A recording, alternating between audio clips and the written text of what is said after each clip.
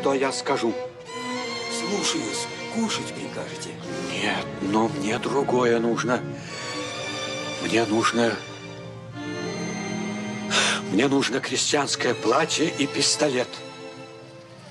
Это чья же коляска? Разве вы не знали, барышня? Князь раненый. Да кто это? Как фамилия? Самый наш жених бывший. Князь Балконский. Говорят, при